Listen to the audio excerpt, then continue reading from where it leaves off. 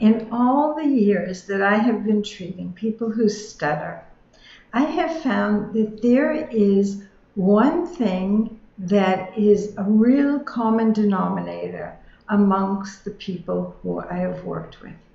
And that is that overall, people feel embarrassed to stutter.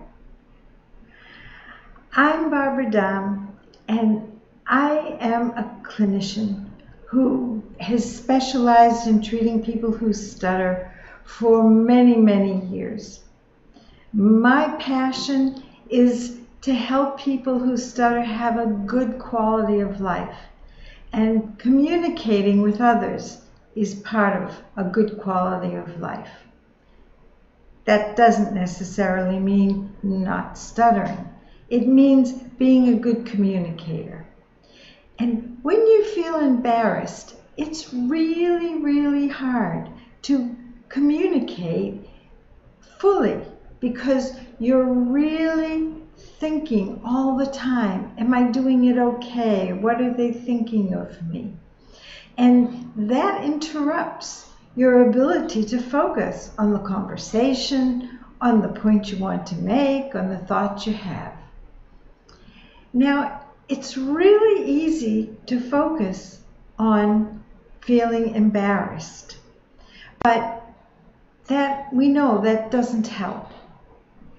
And I won't get into the reasons why people feel embarrassed. I'm not even sure what they are completely.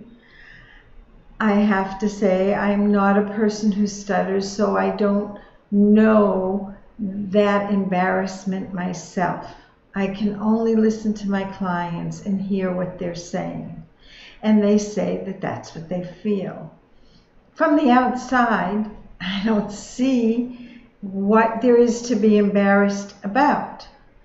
But we all like to be able to express ourselves freely, and I guess people accept stuttering as a mistake, maybe and we don't like to make mistakes.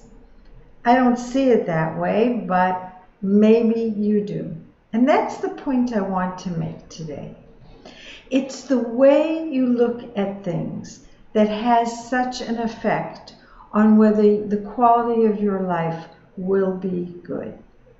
So, I think that it's really important to see stuttering as what it is, to change your perspective to look at why you personally are embarrassed. Try and write down three things that you feel have to do with when you stutter and that make you feel embarrassed. And then look at them and think are these things really worth feeling embarrassed about? What if I looked at them in a little different way? How would I feel?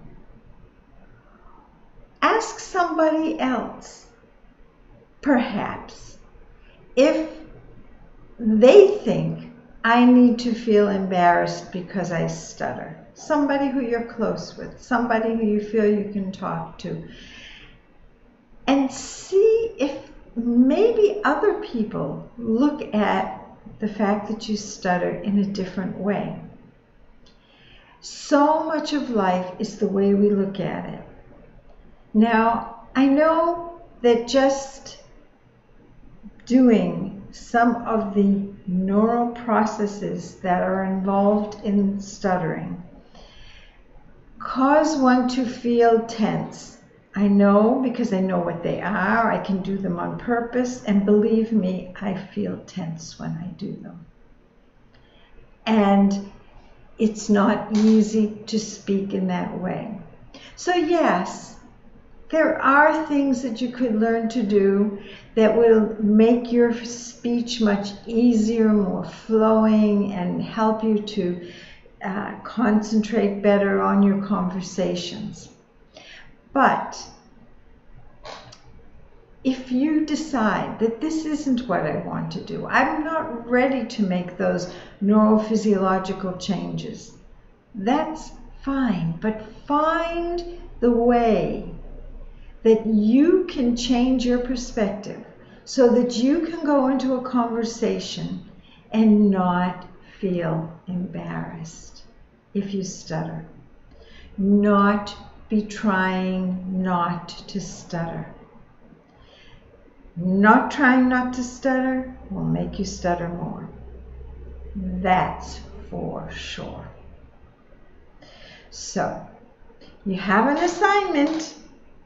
Look at the reasons why you feel embarrassed personally about stuttering and see if you can take each one of these three reasons, look at it from a different perspective that will reduce the need to feel embarrassed.